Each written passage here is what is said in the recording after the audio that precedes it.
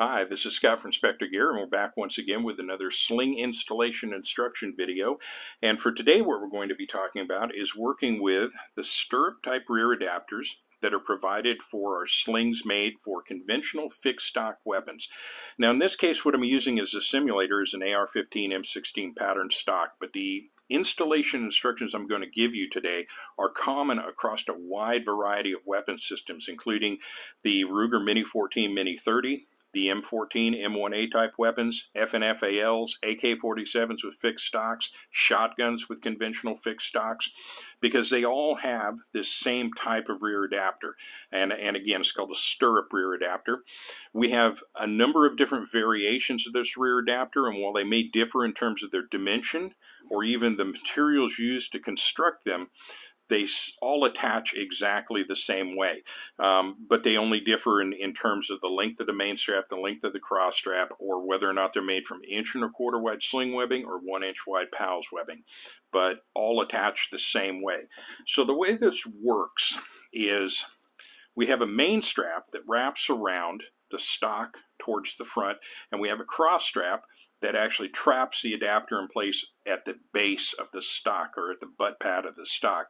So it has kind of an isometric push-pull tension that holds everything in place. Now it's all dependent on this angle right here to keep the adapter from sliding forward and of course the cross strap keeps the adapter from sliding, or rather to the rear and keep cross strap keeps the adapter from sliding forward. Sorry, I hope I hope that didn't confuse you. But uh, it's a fairly simple uh, design. We've been using these for many, many, many, many years, going all the way back 23, 24 years ago. We had our first design of this type out.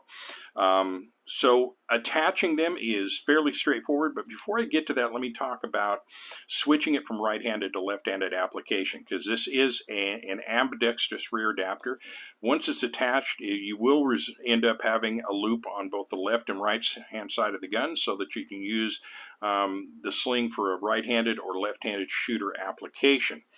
Now, in standard configuration, uh, as they're shipped from the factory, they come in right-handed shooter configuration, but if you're a left-handed person, in most cases, all you're going to have to do is undo this one-inch attachment strap here and just simply attach it to the loop on the other side. It's as simple as that to switch from one side to the other. Just be sure to remember that when you um, reattach on the other side that you double the tip of the, the webbing back through the tri-glide to lock it in place so it's not going to let go on you and it'll stay there until you physically undo it later.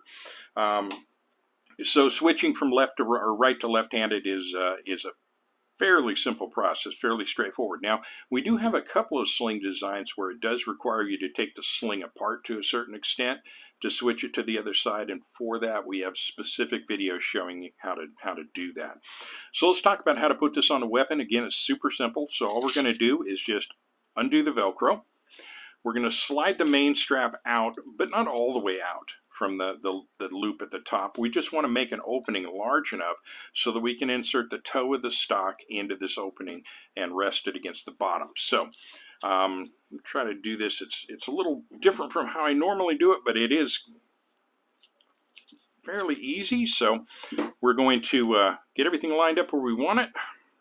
To pull this tight, and I'm going to, because I'm doing it kind of in the blind because of the, the camera being in the way, secured on the other side. Now, from there, you're going to want to go and maybe snug it up a little bit more, square up the Velcro somewhat. So I got everything pretty much where I want it. Switch it to the other side, and voila, there you go. Now, some things you might want to, uh, or you might run into, is with the M16 series of weapons, the rear sling swivel is far enough back that the rear adapter doesn't get in the way, or rather the other way around, the swivel doesn't get in the way of the rear adapter. But you may find some um, configurations that might have either a sling swivel or a stud threaded into the bottom of the stock, and you're unable to get the adapter to fit over that. It's, it's dead in the center or, or it's, it's going to be a problem attaching it. In those cases, and, and we do mention this in the in the the uh, sales literature on the site. It may require removing the swivel or the stud from the bottom of the stock. That is something you may have to do. It's a fairly simple process, and it's easy to restore it back to its original configuration. And any resulting hole will be uh, covered by the adapter itself. So that may be something you might have to do. So be prepared for that. But aside from that, that's really as, as simple as it gets. So that is how to attach a stirrup type rear adapter to a conventional fixed stock gun. So uh, if you have any further questions, please contact us at spectergear.com. But with that, I will thank you for watching or listening. Have a wonderful day. This is Scott at Specter Gear. Take it easy.